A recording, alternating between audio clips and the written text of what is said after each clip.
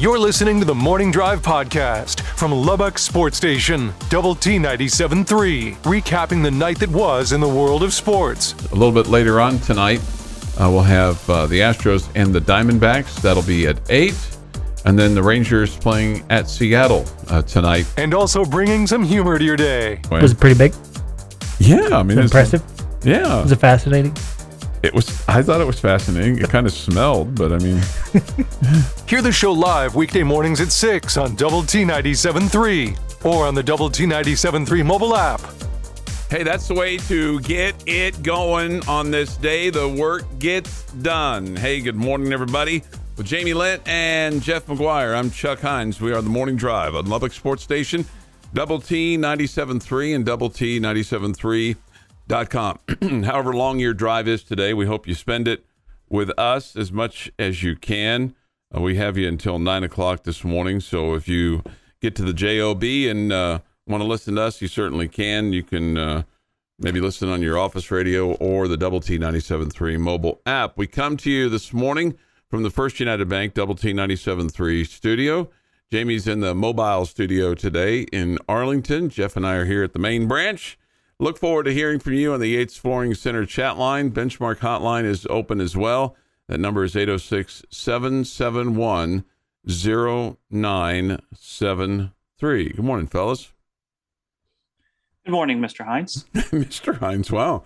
Uh, man, you got to witness some history last night, Jamie. I think that is just awesome.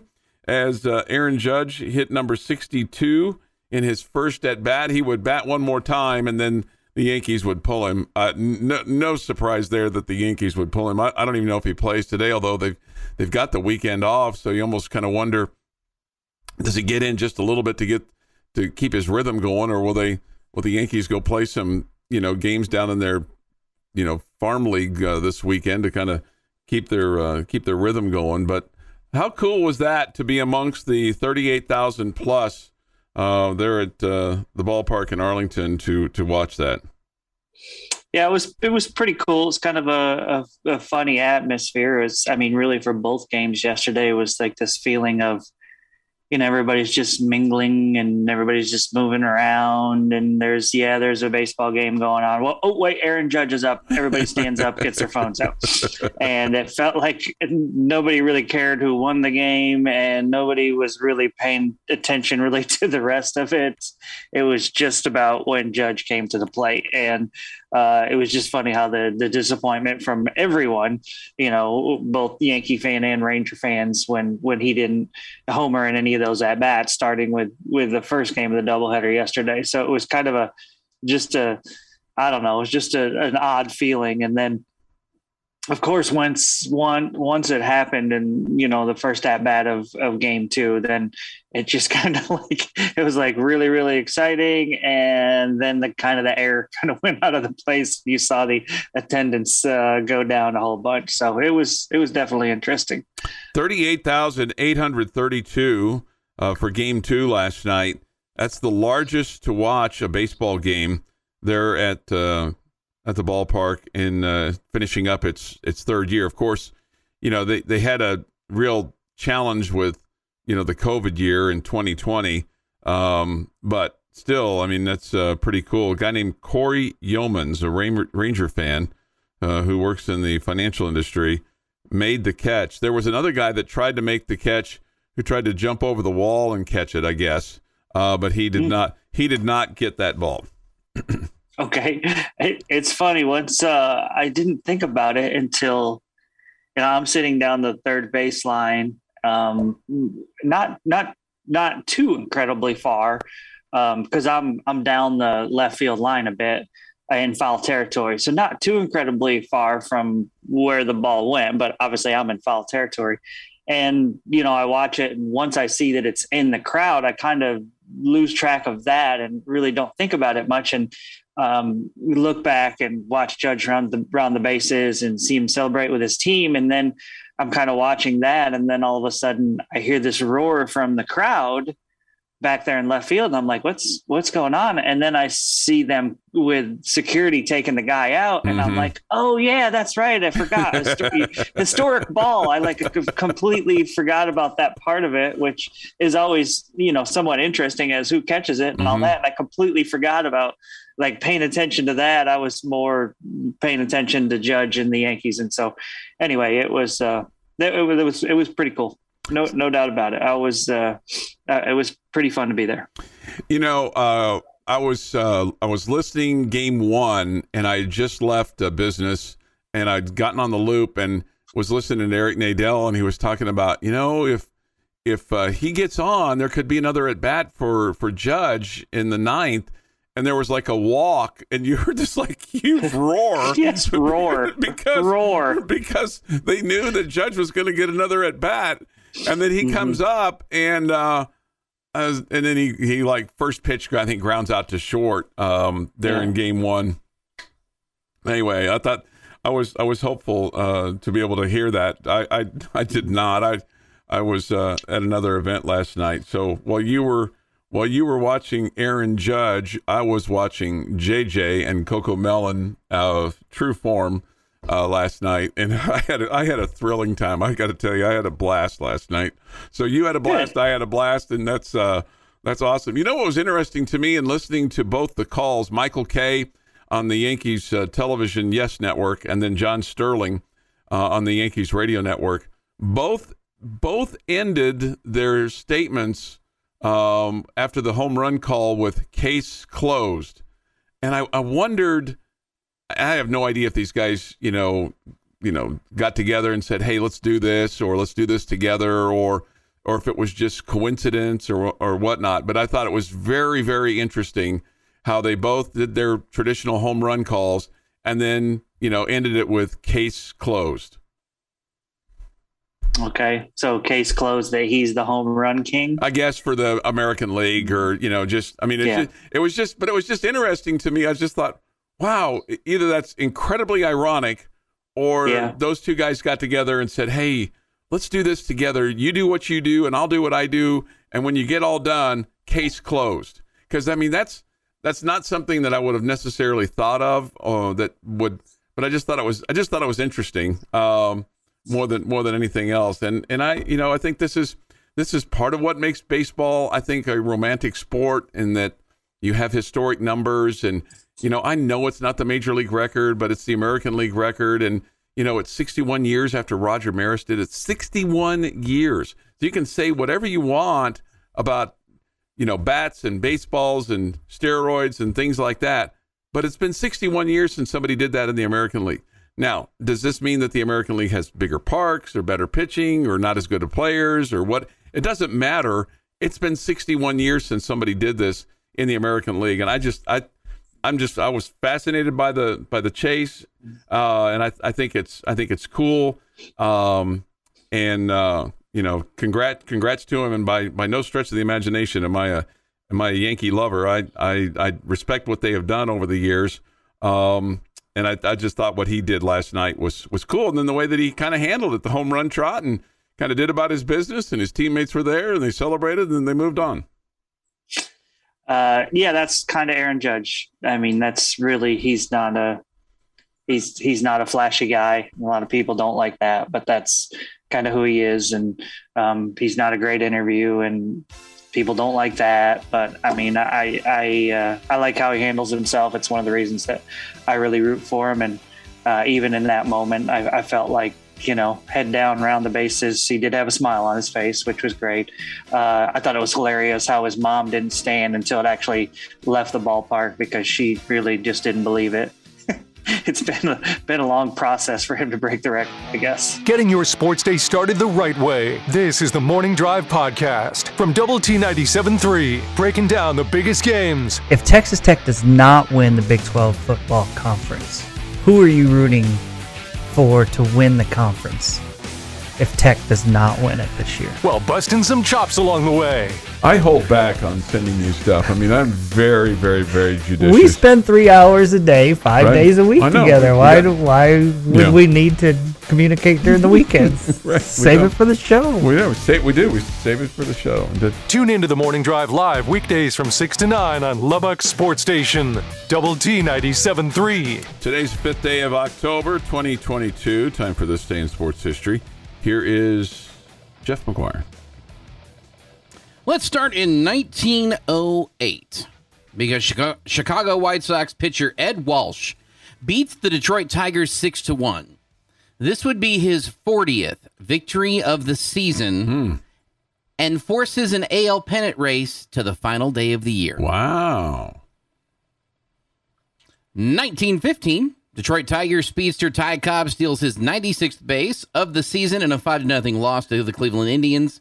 Strands as uh, stands as a Major League Baseball record until 1962 when a guy named Maury Wills steals 104. And Maury Wills' son, uh, Maury Bump, Wills. Sorry. Bump, played for the Rangers. Bump. What a great name. Bump Wills. Yeah. 1941, Brooklyn ca- uh, Dodger catcher Mickey Owens drops a third strike, and Tom Henrich reaches first safely for the Yankees for a famous Baseball World Series error that would have been the last out. Instead, the Yankees score four more and win seven to four and win the series four games to one. Yeah. That was no bueno. 1956, Chicago, uh, Chicago uh, catcher Yogi Berra becomes the fourth New York Yankee to hit a Baseball World Series Grand Slam in Game Two at Ebbets Field in Brooklyn. Dodgers win the game though, 13 to eight, but they would then lose the series overall, four games to three. 1986, Rams running back Eric Dickerson runs for an NFL overtime record of 42 uh, on a 42-yard touchdown as the Rams defeat the Tampa Bay Buccaneers 26 to 20 at Anaheim Stadium. The Big A. I remember when the Rams used to play there. That was pretty cool when the Rams played there. 1991, Fresno State ties the NCAA football record with 49 points in a quarter. Hmm. As they rout New Mexico 94 to 17 at Bulldog Stadium in Fresno. 49 points in one quarter. Se- crazy. Seven possessions. I wonder if there were some defensive scores in there. I have no. Gosh, I, the- I, I need to know how I need to know how many plays they ran offensively in that. I mean, because it feels like it would have had to have been big plays over and over again. What was the year on that again? 1991. Yeah. I'm gonna guess there were no like 14 play drives in there. no, yeah, no. Not in any way, shape, or form. Uh, 2001, Barry Bonds hits his 71st and 72nd home runs in an 11 to 10 loss to the LA Dodgers at Pacific Bell Park. Breaks Mark McGwire's MLB season single re- home run record. I could not have said that worse. And in 2003, Kansas City wide receiver Dante Hall scores on a game-winning 93-yard punt return in the Chiefs' 24 23 victory versus the Denver Broncos at Arrowhead Stadium.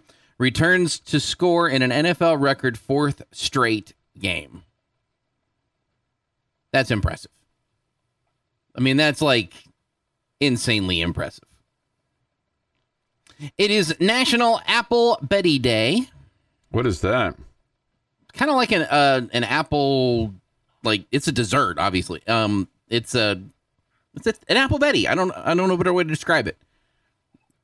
It's apple and cinnamon and pastry and awesome. It's also rocky mountain oyster day. I'm not. I'm, I'm out on that. yeah i kind of figured you would be. Happy birthday! Lucas white turns 28 today. So make sure everybody says happy birthday to him later today Kate Winslet is 47. Travis Kelce, 33. Neil deGrasse Tyson, 64. Brian Johnson from ACDC, 75. Steve Miller, 79. Grant Hill has a 50 burger today. Wow. Barry Switzer, 85. And a blast from the past for Rangers fans. Alexi Ogando is 39 today. Alexi Ogando is 39. The today. shortstop turned pitcher. Mm-hmm. And on this day in 1892, the famous Dalton gang attempted the daring daylight robbery of two Coffeyville, Kansas banks at the same time. But if the gang members believed that their sheer audacity of their plan would bring them success, they were sadly mistaken. Instead, they were nearly all killed by the quick acting townspeople. Hmm. And that is this day in sports history. But before Chuck gives us more updates on the Fresno game, That's exactly right. It's uh, time for the word of the day. Tired of national radio contests the other radio stations do, where local listeners have little to no chance of actually winning. So are we. That's why Double T 97.3 has teamed up with the Home Zone, making your house a home. We're going to give away $10,000 in cold hard cash. Probably won't just be in fives, tens, and twenties. They don't make a $10,000 bill anymore, so we'll write you a check.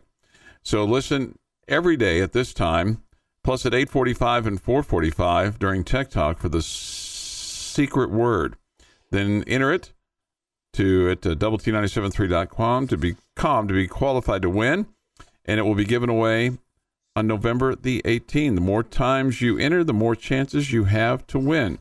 Today is Wednesday, October the 5th. The secret word at 6:45 is pistons. Pistons like Detroit Pistons. Pistons. P I S T O N S. Pistons. And that is your secret word at 6:51 this morning. Brought to you by the Home Zone, making your house a home. Uh, I cannot find a stat. Oh, maybe I can. I'm looking for a box score for that day.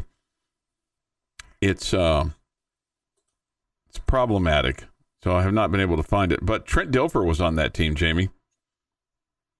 Oh yeah, he was a Fresno guy. Yeah. Yeah. So, um, I may have to do a little bit more research on that to try to get your your uh, box score for 94 to what was the final? 94 to 17 was the final. Man, that's crazy. Just absolutely crazy. Um, let's see here. Brown Betty is an apple crisp. Okay. As somebody says, uh, Maury Wills passed away a couple of weeks ago. Yeah, I think I'd seen that as well. So that's uh, that's too bad. We'll have high school fan zone tonight. Friendship and Lubbock Cooper coaches uh, will visit on the high school fan zone tonight. That'll be at seven on 100.7 the score. Uh, before that, Astros and the Phillies uh, will play. That's a 240 game from Minute Maid and about a 305, 310 first pitch. Boy, that'll be uh, won't be a whole lot to that game, Jamie.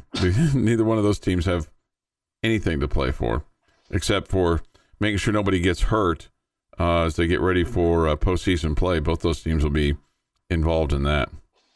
I thought all I think all major league games are starting at the same time today. Is that right? Yeah, I think so. I think everybody's uh, Yeah. everybody's an afternoon affair uh, today, so that allows the teams that are getting ready for the playoffs to um, to move ahead, and the teams that are done for the year are out of there so that they can get on the road to go where it is where where they're going to go.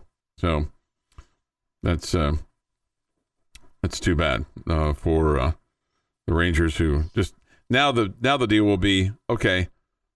Um, who's going to be the manager and what kind of changes are going to be making? What kind of acquisitions will they make and and all those all those kinds of things. That that that to me is the that that becomes what's interesting more than anything else, right? Yeah, that's. I mean, those are questions that they're answering. Yeah, absolutely. That and some of can, can some of their young players, including Josh Jung, take a step forward next year? Yeah, but at least at least there's not any question about you know Josh Jung and you know what's he uh, what's he going to do and you know how's that you know when's he going to come up? I mean those those those questions have been those questions have been answered. Um, so it's uh that's that's it for that.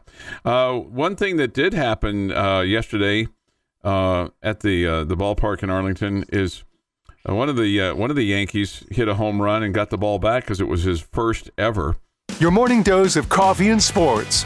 This is the Morning Drive Podcast from Double T 97.3. Catch the show live weekdays from 6 to 9 on Double T 97.3 FM or on the Double T 97.3 mobile app. Ask for your thoughts and comments on the Yates Flooring Center chat line. Go to doublet973.com for that or the mobile app. It's presented by Happy State Bank. Uh, all right, we get this. I know there's a lot of football to go, but if Tech can get things going, this could be the first time Tech could be UT and OU in the same season. I was thinking about that the other day. Um, that's uh, that's a real possibility, given how Oklahoma is playing right now. Yeah, um, I guess. I guess I'll wait and see how Oklahoma's playing Mhm. when they get to us because that's a long time from now. A long time from now, but um, that's crazy. We've ne- since we've never beaten them both in the same year. I guess I didn't know that. Yeah, I didn't. I didn't. I guess either. it's bel- I guess it's believable as Sure. both programs have been. sure. Um, yeah, that'd be that'd be pretty sweet.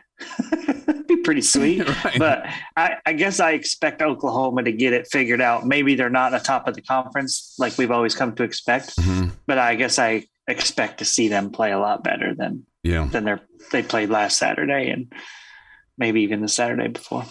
Uh, here's some uh, disagreement on the Yates Flooring Center chat line. JL, I disagree wholeheartedly. Coaches and athletes want to go up against the best every week. We do not want to play Little Sisters of the Poor, but we at times, because the administration schedules it, we need to donate to them so that they can survive in the athletic in their athletic department. And let's face it, to buy a win to get you closer to a bowl game. But when it comes to putting on the cleats, athletes and coaches want to go against the best. Good, better, ugly. I guarantee it. Okay. I don't know if that I person's mean- a football player or, a, you know, one of the coaches or something like that, but wouldn't use the I word think we. those I think those coaches are uh, pretty um, pretty strong in their desire to win enough games to uh, keep getting paid. Yes, especially with what's been going on. Yeah. Um, you you schedule games like Murray State to get some things figured out, to get young players some experience, you know, all of the above. But you also schedule them to help you get a bowl, uh, get Mhm. to a bowl game, Right. and help you get some confidence in the season. And I mean, you don't want the rigors of playing. You don't want to play 12 straight conference games where you're playing great teams that are going to beat yourself up. You need, you know, a little bit of a let up here and there. And I get the thought that players want to play good teams and all that good stuff. But I think there's plenty to gain when you're talking about playing patsies and non-conference and, Sure. and that kind of thing. Um, and, and that's why you do it. And, um, but, but I, I, I totally get an attitude of that. Hey, bring it on. Who's next? Let's Mhm. go. We've got this. We're not going to be like, man, we got another tough team this week. Um, I Oh, totally get that. I to- I, I mean, I, I, I completely agree with that, but Mhm. I, I, I don't think coaches want to play a ranked team every week. No, I, I, Players, players, maybe. yeah, Coaches, no way. yeah. There's a lot to gain by having some easy teams on your schedule. Sure, you got to it helps you kind of figure things out a little bit. And I think you said the most important thing at the beginning. Uh, these coaches are trying to figure out a way to um, win enough games to keep their jobs, so that they can get up the hill far enough, so that they can get in better players, bigger recruits, get their program in place, sustain Sure. themselves. Because See, that's that's another one that you brought. That's a good point right there, Chuck. More wins because we know winning breeds winning. More wins for- get you in the attention of of recruits and all that kind of stuff. So you've got to get yourself to a program that's going to bowl games consistently and winning a bunch of games. So Mhm. kids kids can think, yeah, uh, I want to go there because they win a lot and we go to good bowl games and all that. We've Yeah. cr- created this fun atmosphere. All right. Uh, coach Mm-hmm. McGuire is in his first year as the head coach at Texas Tech. He was asked uh, the other day what he has learned since week one. I just really try to concentrate on keeping uh, the main thing the main thing and continually um, try to make it simple. This is the message. This is what we're going to do. You know, I think uh, so many coaches, you know, knee jerk and come up with all these little phrases every single week, and then the players are like, "Well, well what is it, coach? Is it are we going to start fast, or is it to get it to the fourth quarter, or is it?" So what you know, what we try to do is just keep this is who we are and and keep building that program. You know. Um, and not making excuses that this is year one. I mean, me saying that sounds like that, but not, man. My job is to try to find a way to win games. My job is to try to find a way to be better in the offensive line. My job is to find a way, way to to protect uh, you know Donovan better and find a way to run the football better. And and um, you know this is they're they're coming out and they're practicing every week. They're practicing extremely hard. And you know I said it yesterday. I mean it's it's funny what a difference a week makes. You know I said everybody you walked around uh, the campus all week long and everybody patted you on the back. And now you're going to brace a lot of hate for uh, getting beat by a really good football team in K State at their place you know? And so it's just a mixture of us all learning that that's just the the, the nature of, of what we do and, and really just concentrating on the people in the room and us getting better as a group and representing Texas Tech. Uh, Joey McGuire. Now, he did bring up something with regard to the offensive line. Uh, Coach McGuire was asked, could we see changes at left tackle? Because let's face it, Caleb Rogers struggled um, against Kansas State. Uh, he wasn't the only one. Um, there was plenty of struggle uh, on that offensive side along the line, and of course at quarterback as well. All leading up to this, where he was asked, "Could we see some changes at left tackle?" Yeah, we are. Um, we bumped uh, Ty Buchanan over to left tackle to back him up, um, and we'll kind of see how those two, you know, go. It's going to be a little bit strange for Ty. He's never played left tackle, but he's, you know, he's really athletic, and um, you know, he was a guy that we thought we'd push Monroe uh, for playing time. And Monroe's, you know, played um, better um, and practiced better, so he's a guy that's been starting. But we're moving him over to kind of, you know, see how he looks, um, you know, and and some of it, uh, you know, is making sure that, you know, 91 is going to play in the NFL, you know, and um, we gotta we've got to do a good job whether it's we're sliding to him. You turn around this week, man, they got they got five or six guys that can flat out rush the passer. I mean, it doesn't get any easier. We turn around and you got you go to West Virginia. They got a guy, probably multiple guys, but I know they got one guy that's been there a long time that's disrupted. Then we play Baylor, and they've got four or five guys that are going to play in the NFL. I mean, you say whatever you want about. Uh, different conferences that are really good. I just know that the Big 12 is as good as any conference. I mean, again, there's a lot of people that hang their hat on one or two teams in other conferences, and and uh, then you see at the end of the year in bowl games and, and non-conference games that the Big 12 can hold their own with anybody. So they're going to create a little uh, competitiveness there at uh, left left tackle. Um, with uh, Ty Buchanan getting a bump behind Caleb Rogers, and there'd probably be some rotation there. But uh, I thought that was a, uh, an interesting comment from the head coach, Jamie. Yeah, I think uh, anytime you're struggling along the offensive line, you're always trying to, or, really anywhere, you're always trying to find something maybe to to spark the team or find a, a, chemistry that will work a little bit better. You know, he talked before the season started about it's not about having the best left tackle or right tackle or right guard. It's about having the best five offensive linemen. So they're, you know, he expects those guys to be able to move around a little bit, and so I'm sure he's just trying to figure out a, a group of five that's going to be the best together. Well, we'll get to this, but he he, he was asked. Uh, Jeff asked this question. I thought it was a good question. We'll get it from both Coach Kittley and from Coach McGuire about the tight end position and the feast or famine uh, aspect of that. Um, we'll get to, get to that just after eight with Coach McGuire. But one thing that he said about Henry Teeter, who only got four snaps, he was asked about that, and he said that that's due to the growth of Mason Tharp. You're tuned in to the Morning Drive podcast from Double T 97.3, recapping the night that was in the world of sports. That's not to say that they don't respect the run game that you have, but you're talking about one quarterback leading the, the conference in passing so far this year. And remember, he didn't start the first game. All right. Still played a lot, though. And also bringing some humor to your day. I, I just don't want to disappoint you. I just as much as I disappoint you, I don't want to disappoint you in some things that you expect from me. Hear the show live weekday mornings at 6 on Double T 97.3 or on the Double T 97.3 mobile app. Jamie's question of the day on Double T 97.3 is presented by Bizarre Solutions. Call them today for a free cybersecurity audit. All right, 7:31 this morning on the morning drive. Time for our question of the day from Jamie. What you got for us? All right, Chuck, I want you to look at the uh, football schedule the rest of the way. You All too, right. Jeff, and our fine listening audience. Fine listening Look at audience. the schedule the rest of the way. Mm-hmm. Just kind of scrap what you had at the beginning of the season. Mm-hmm. I want you to look at the rest of the way and tell me what you think the schedule will be for the Red Raiders for the remaining seven games. Okay, so uh, here's what you've got. You've got um, Oklahoma State, West Virginia, Baylor at TCU, Kansas at home, at Iowa State, Oklahoma at home. Currently, the Red Raiders are three and two. Uh, they've won their home games, lost their road games. I don't think you're going to win all your home games.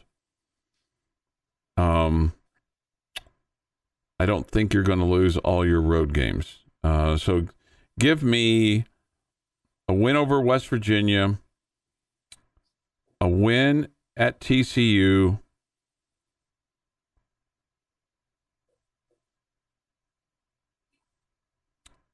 A win at home against Kansas. I'll take that back. I'm going to have a loss at TCU, a win at Iowa State. So give me a win over Kansas, win over Iowa State, and then the win over West Virginia uh, to get you to six. You'll finish six and six. So you go you go three and four down the stretch. Okay. Okay. So, all right, go ahead, Jeff. Loss at Oklahoma State. Win against West Virginia. Loss against Baylor, although I could see that one going either way. In fact, I could put Baylor, TCU, and Iowa State, all three of those, as win or lose games. And that's the hard part in this is figuring out where the we don't know enough about the conference yet. Like, is TCU a great team? Mm-hmm. Is is Kansas Kansas hasn't played anybody yet, but they are undefeated. There there's something that goes with that. Mm-hmm. Are they the Sure. first year under Cliff Kingsbury uh seven and O team? Right. Or are they, you know, just a team that has figured them some some things out in the offseason? I I think they're closer to that. Probably a Kingsbury combination of both. Uh, yeah, Yeah. Right. And but that doesn't mean I like that game. I like it at home better than not, but it's also the game that you Yeah. the fan base looks at and says, You should win this game. It's Kansas. Mm-hmm. But this is not the Kansas of three years ago. They're playing good football. Um I'm not the nightmares of Ames, Iowa. I can't call that a win. I could see Tech winning, but I can't call that a win. And then at home versus Oklahoma, which Oklahoma shows up. If this was this week, I'd feel much better about that game. I would pick a win this week if it was against Oklahoma this week. You would. It- but it's Oklahoma State this week. Okay. Oklahoma at the end of the year where they could be needing that if they go on a run to get in the Big 12 championship game or get into a bowl game. I hate that game at the end of the year. So I'm calling that a loss. So I guess I'm right there with Chuck in that three and two on the no, three and Three and four. three and four to finish the year. That that math doesn't work in my head all of a sudden. Mm-hmm. One, two, three, one. Yeah, I guess three and four on the, to end the year. But I don't feel good about it in any way, shape, or form. So I, d- I definitely don't feel good about your starter and your finisher, Oklahoma State and Oklahoma. Mm-hmm. Okay, because I think Oklahoma is a much better team than what they showed last week, and I think we'll we'll see that. I would not want to, want to play Oklahoma this Saturday because I would think they'd be pretty fired up and embarrassed in their Yeah. performance last week. So I I got to believe that that will be a fired up team. The other five, man, um, I think I feel the best about West Virginia at home. Um, probably second on the list would be, and Jeff makes sense. I know there's been struggles in Ames, but uh, uh, from what I saw from Iowa State last weekend, that that was that was not good. I You talk about a team that's good. got problems with their with their kicker. uh, your kicker quarterback play was not good at all. Uh, penalties killed them. They just don't look like a good football team. Um, and then Kansas right behind them as far as confidence level. I definitely, man, that Baylor game at home, it just feels like we'll have an awesome crowd. It feels like it'll be a similar feel to what we had against Texas, where you know they're the favored team and and all that good stuff. But playing at home, the atmosphere will be great, and I think our players will be fired up for that one. Uh, and so I think, I mean, if I'm just looking at it on paper, I think Baylor's a better team, but I think we'll have a good chance in that game. And then TCU one, man, I've gone from feeling like they were going to be one of the worst teams in the league to seeing what happened last week and and just not knowing anymore. So uh, that one seems tougher, but I I think I think I feel like you're going to get four. Four, okay. I, I think you're going to get four. I think you're going to get four and and end up with with seven wins. Wow. Okay. Yeah. I got a prediction off my line that Kansas loses their next seven, which they could do. Oh, they no. did. They did that in 2009. They won their first five and then lost their last seven, and Mangino got fired. That's not going to happen. Probably not happen. Kansas, Kansas is better. than That their defense is solid and their Mhm. offense is good enough. They'll they'll get somebody. Uh, the Bobby Hot Dog says he'll take Probably a a, sh- probably a couple. Bobby Hot Dog says he'll take a shot of the Kool Aid and he'll say eight and four for the Red Raiders. Wow, it's only two losses. That's that's uh, five and two down the stretch. Uh, do you guys say three and four because at this point you're just praying for a bowl game? No, I, I think this is what we believe, right? Right, this is what we what we believe. I mean, like I said, those three games, you could win all three of them. hmm You could also lose all three of those games. there's a there's a I part. don't, I don't think you should pray for sports things to happen. Okay, okay. Pr- probably probably Can I really hope? Can I really hope? Is that better- different than praying? probably better better things to better things to pray for, right? That's kind of what I feel like. Yeah. He's got more important hmm. things to deal with. So World peace. I world feel like that. I feel like that would be bring bad luck to your program if you do that. Yeah, yeah, you're probably you're hmm. probably right. Now, if you're hmm. now if you're under ten and you've got some sports heroes out there, then probably that those are probably just saying a prayer. If you're under under twelve, is probably good. Would yeah, you I- would I you mean, agree with that? Shoot, you- yeah, just get it started any Just way get- you want, just right? get it- just just get get, a relationship started one way or the other. right, you can, you can get, get it Get, in it, the get in the habit. get in the habit.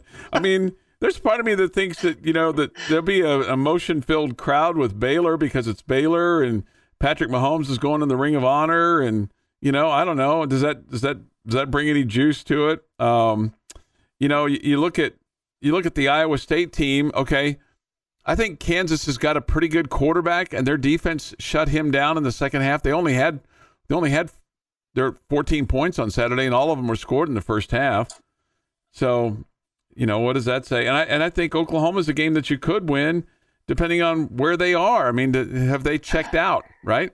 Yeah, that's that's a good point. I just have a hard time believing they're, that they're this bad. Uh, There's this, just too much talent there. yeah, this from Bullfighter. He says, "Drink the JL juice. Hope we get to seven. the JL juice. It's um, Bullfighter. It's uh, it's it's pretty tame. You can it's you can tame. get that in a green bottle in any store. you sure you sure can. Uh, this I agree. Chuck TCU may be very good based on Oklahoma. You know they might be. I just I don't know. I I don't- they look they sure did look the part. And I also when their quarterback's running like he did last week, it sure scares you Mhm. against the Red Raiders because you're like, uh, well, we kind of struggled stopping a purple quarterback last week. Your morning blend of sports, K State is uh, coming off a big win over Oklahoma. Of course, the Red Raiders off their 37-34 overtime win over number 22 Texas. and humor. Sure to tell them that you you suggested that, and of course that got a big laugh. This is the Morning Drive Podcast from Double T 97.3. Catch the show live weekdays from 6 to 9 on Double T 97.3 FM or on the Double T 97.3 mobile app. Now joined on the benchmark hotline by the head coach of the Lady Raiders, Krista Gerlich. Good morning, coach. Good morning. How are you guys? We are awesome and uh, getting ready for some hoops. It's crazy as we've turned the calendar. Then you start thinking about, okay, when does uh, the Lady Raider season and Red Raider season begin? And for you, uh, November the 1st, an exhibition game against Midwestern State. You return seven and you have seven new. Um, let's talk about a couple of the returners first with, um, with Bree Scott uh, coming back in and hopefully will be healthy. And uh, also Braden Gerlich, uh, who also will be, you know, one of your top returning point scorers from a year ago, and and uh, both those girls will give you some leadership, won't they? Absolutely, yes. Um, we certainly are hopeful that Bree can have a full season healthy. Um, she went through a lot of um, you know, things this this past spring and summer to try to get that way. She's had surgery on her foot and and has, has been doing a lot of rehab throughout the summer. Um, went to Greece with us, but did not play to be able to uh, make sure and ensure that it would, uh, you know, stay healthy and continue to to thrive on that. But obviously, expecting some big things from her. Um, and then, uh, yeah, then Bryn coming back in and just understanding our our system and you know being able to. She's led us in assists and, and been fourth in the Big 12 um, last year in assists and assist to turnover ratio, she has a chance to really kind of hold us together and, and help our young kids um, in a leadership role. Uh, one other, two others that are coming back that didn't play a great deal, but I, I think have a lot of potential. Lana Wenger and Saga Ukkonen. Uh, speak speak about both those players for you, Coach. Yeah, they both um, had a great summer as well. You know, both of them had opportunities to go back um, home during the summer and play for their FIBA teams, but there was a lot that went into that, and they were going to miss the majority of the summer. And both of them um, knew that they could have that opportunity to do that later in their career, and they knew that this summer would be really important for them and really crucial for their development to be able to get on the floor. And so I'm really proud of the progress both of them have made. Saga works extremely hard and uh, is, pre- is is sneaky athletic. Like she like she can really run and she can jump pretty well, and but but uh, really sneaky when it comes to that. Um, and has really shot the ball well this this off season. And then Lana has just come so far. Like I'm so excited about what she's doing for us. Um, just a year of experience of playing college ball and playing again. You know, she missed her senior season because of COVID in California. So it's literally been two years since she's played and she had a great spring. Um, great. She probably was the most impressive as far as like a surprise for us, or most improved, if you will, um, in Greece. And I thought that she just really was active on the boards, is using her athleticism to run the floor really well um, I'm excited about what she's going to bring um, to the table this year. And then uh, a couple of uh, new players that are that are coming in. I'm, I'm real excited to see what Bailey Maupin's going to be able to do for you. The freshman from Gruver, highly recruited, big shooter for you, and uh, could could really add a lot to this team. No doubt, no doubt. And I've been um, extremely excited about her and very impressed. Um, I mean, I knew she was going to come in and, and really be a great player for us over the next four years, but it's been incredible to watch what an impact she's already had on our team. Um, her mindset is just elite. Um, it's just different, and she she plays that way. She's not intimidated at all. You know, the only thing that maybe even hints that she's a freshman is just her um, is just her strength, you know, because she just hasn't been in the weight room in the college setting in a while. But um, but she's not gonna she's not gonna back down, that's for sure. she's gonna go right at you, but. Yeah, she she could she really has a chance to be special, and I don't want to put too much pressure on her as a freshman, but at the same time, I think that's what she wants is to be um, have expectations and to to know that um, she can impact us very very early. All right, one one more thing before, and then I want to ask you about Greece a little bit. Um, two other players, and then I want to get to a coach. But uh, Jasmine, excuse me, Katie Farrell, who played for you at UT Arlington, comes in as a grad transfer. I think she's going to add a lot of leadership and, and toughness. And then Kilah Freelon uh, from Denver. She's six one, but boy, her legs are like seven feet. Coach. Right. That's so true. Well, so Kilah, yes, freshman coming in, very, very, very talented. Probably the best athlete that we've had um, on our roster the past three years. Um, I, I keep thinking Wes Kittley is going to come talk to me about her running in the spring for mm-hmm. him, and I would not be opposed to that because she's just amazing um, athlete. But she's going to just develop and develop and develop because she again needs strength and experience. But um, the athleticism that she can play with and how hard she plays and how um, eager she is to learn is second to none. And I'm I'm so excited. She's going to be a sleeper for sure. She'll she'll shock the Big 12 12, I think.